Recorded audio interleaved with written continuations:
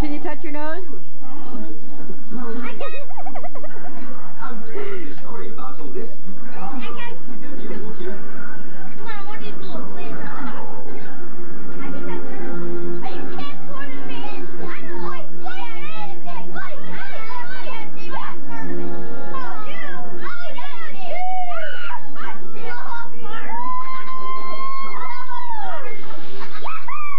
Coach Jim, guys.